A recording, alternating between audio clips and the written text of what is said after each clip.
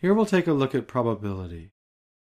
The probability, or P, of an event A is equal to P of A, that is the probability of A, equals the number of outcomes in A over the total number of possible outcomes. And A is just a generic placeholder for anything that happens, like flipping a coin, picking a lottery number, or what have you. And this definition here comes from what's known as the classical approach or the classical method of probability. Let's go ahead and take an example. So the probability of tossing a head on a two-sided coin. Now we're assuming for this example that the coin is fair. That is, that it's as equally likely to come up heads as it is to come up tails. So the probability of tossing a head is equal to the number of heads on a two-sided coin over the total number of possible outcomes. Well, if you ask yourself how many heads are on a two-sided coin, there's one, obviously, right? And the total number of possible outcomes is heads or tails, so there's two outcomes. So the probability of a head is 1 over 2, or if we convert that into a proportion or decimal, it's 0.50. Okay, another example, the probability of rolling a 2 on a six-sided fair die. So to solve this problem, we want to ask ourselves how many 2's are there on a six-sided die? There's one 2, right? And there's six sides, 1 through 6.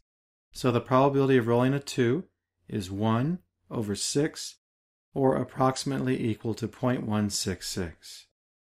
Okay, as another example, the probability of rolling a 2 or a 3 on a six-sided fair die. So here we know that there's one 2 and there's one 3.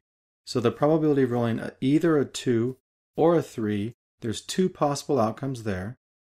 And then the total number of possible outcomes is 6.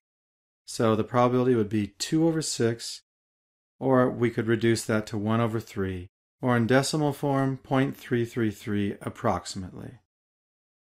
You know, probability always ranges from 0 to 1 inclusive, meaning it could be 0 or it could be 1, or anywhere in between. The probability of 0 indicates no chance of an event happening, something that cannot happen, such as, for example, the probability of rolling an 8 on a six sided die where the numbers on the die are 1 through 6. That's impossible. So we would say the probability of rolling an 8 is 0 in this case. A probability of 1 indicates a certainty of an event happening.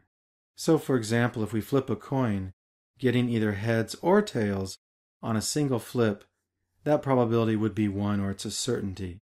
Now we're assuming a coin can't end up on its side, which would be highly unlikely.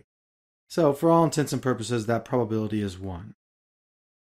Now this definition of probability requires that each outcome or occurrence is equally likely.